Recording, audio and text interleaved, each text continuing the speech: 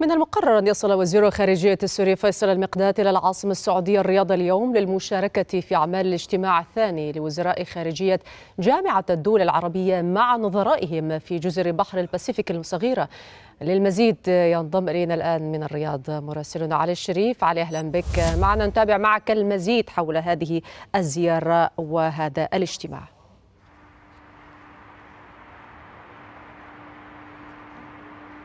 نعم داليا بالفعل يعني هي الزيارة الثالثة لوزير الخارجية السوري والتي تأتي بعد زيارتين سابقتين شهدتها خلال شهدنا خلال الأشهر الماضية. كان تخلل هذه الزيارة استئناف العودة عودة العلاقات بين المملكة العربية السعودية والجمهورية العربية السعودية وأيضا عودة وكذلك مشاركة الرئيس السوري بشار الأسد في اجتماع قمة جدة. بعد ذلك توالت اللقاءات الثنائية بين الوزراء الوزراء الخارجية مع الوزير الخارجية السوري وأيضا هناك عمل مباشر للملف السوري بدءا من القضايا الشاكلة.